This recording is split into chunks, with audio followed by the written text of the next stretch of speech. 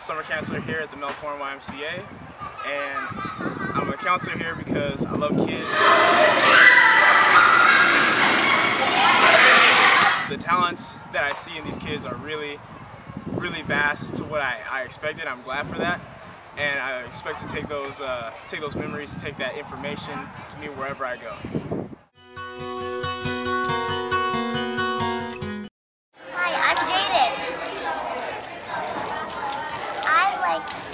because it's really, really, really, really, really fun. What's fun about camp is that I get new friends and that we get to play a bunch of games. To be nice, respectful, and safe.